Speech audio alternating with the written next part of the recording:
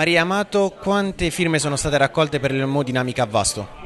14.480, ma eh, qualche firma sta ancora arrivando, per cui questo è il risultato, diciamo intorno a 14.500 che è il, eh, credo sia il numero che poi comunicheremo come un numero ufficiale. Quali le prossime iniziative?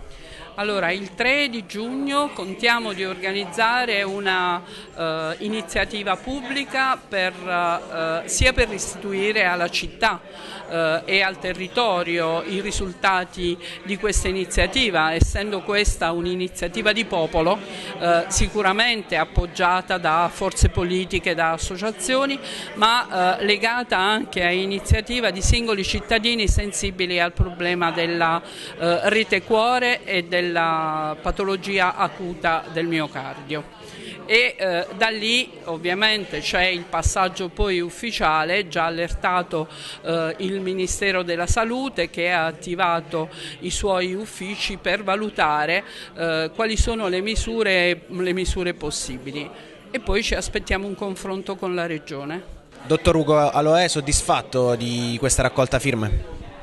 Ma sono molto soddisfatto il numero all'incirca che prevedevamo era intorno a 15.000, infatti abbiamo raccolto 14.700 firme. Qualche foglio in giro ce l'abbiamo ancora, quindi alla fine 15.000 forse lo superiamo pure. Due mesi fa non avevo questa speranza, devo dire obiettivamente che non ce l'avevo questa speranza.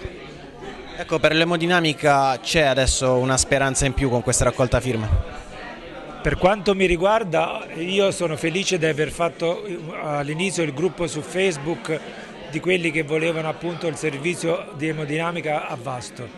Adesso da una questione eh, virtuale sono passato a un fatto diciamo, concreto, ho mobilitato tutta la popolazione di Vasto e del Vastese, ma oltre questo passaggio per le mie competenze purtroppo non posso garantire niente, per il semplice eh, motivo che io non sono un politico, né ho conoscenze e né niente.